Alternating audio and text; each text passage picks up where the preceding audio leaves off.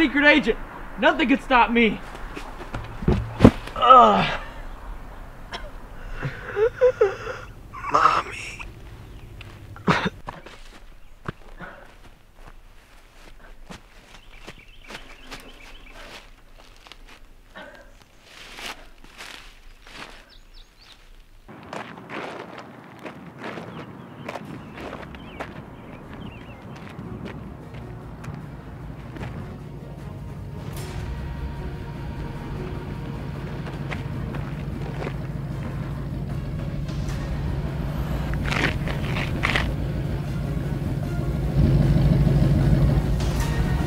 Do it. Hit me. Just hit me, please.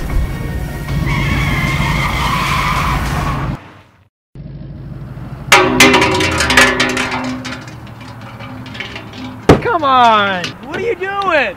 Hey, mister! Are you okay? Am I okay? Are you sure? Am I okay? Are you sure? No, I'm not okay. No, get out here! No. Mama, I knew that wasn't no Sasquatch. Do I look like a... Do I look like a Sasquatch to you? Uh, your face is peeling off! For goodness sake, mister, if you don't stop picking that, it's never gonna heal! Mama, I think he's in shock. I saw that on Oprah once. Mister, maybe you should lie down. Get off me. All you had to do was hit me. Was that too much to ask? All you had to do was hit me.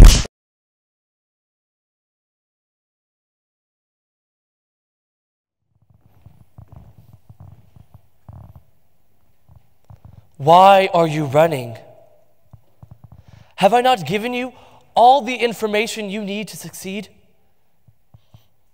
Yet you still doubt my decision to place you on this assignment. You underestimate the value of these people. Sure, they may use possums for loofahs, brush their teeth with pine cones, or even play spitting games like Hakalugi.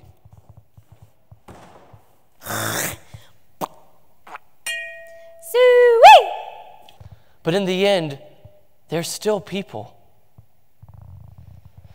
Countless times I have given you orders and you have followed them without question. You have always listened to my directions and obeyed. You have gifts and abilities unlike any other. That is why I placed you on this assignment. So stop running. All it has done is caused you pain. Follow my orders, and you will succeed. Now arise and go.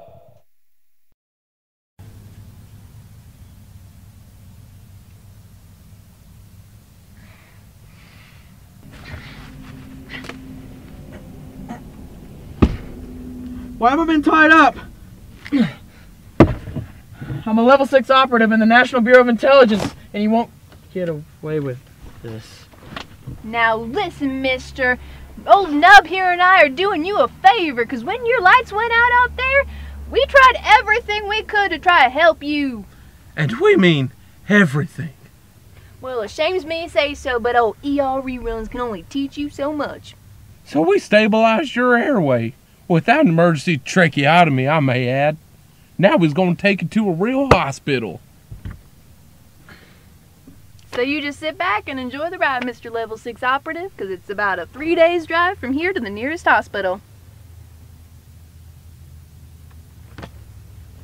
Three days? And this filth?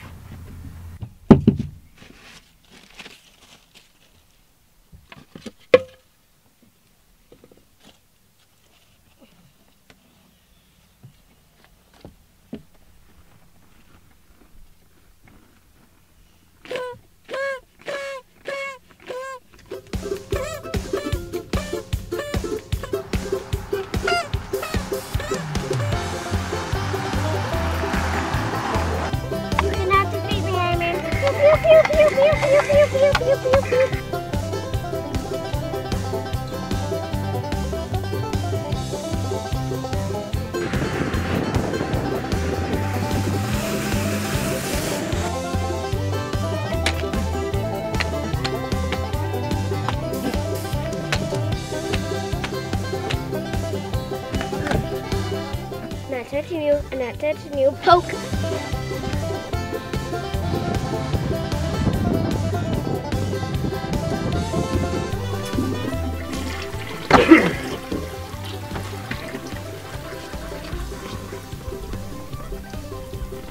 Boy, you look famished. Let me get you some of this tuna. Mm. You want a big piece or a little piece? It's okay. we'll go big piece. to. Big piece of it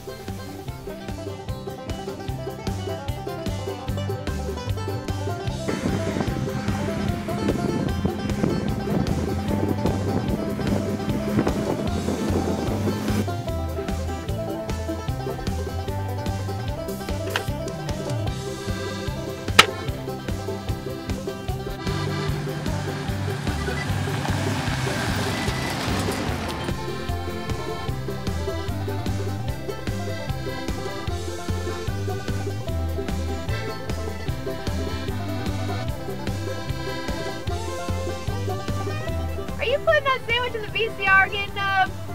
No, Ma.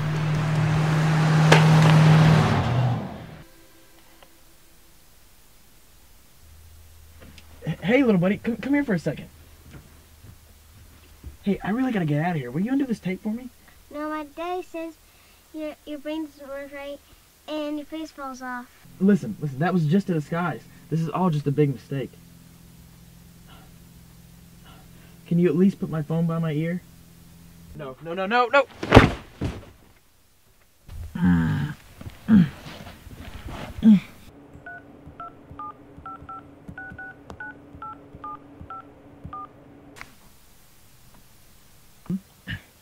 Margaret, this is the barber.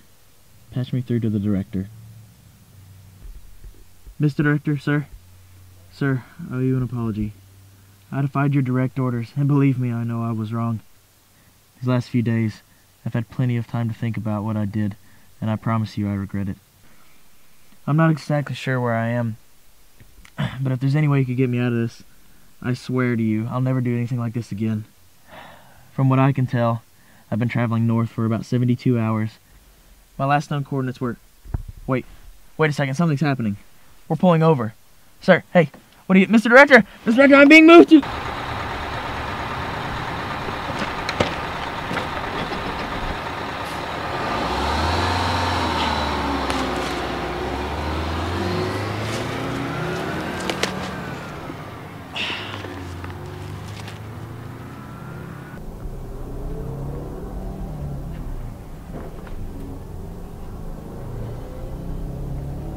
This is Greenie Clampett. Please tell the director that the comb is out of the jar with the blue stuff in it. You know, the blue stuff in the jar. Okay. Uh, the barber is back in business. The barber? Yeah. Look, just tell the director that we dumped Joe off.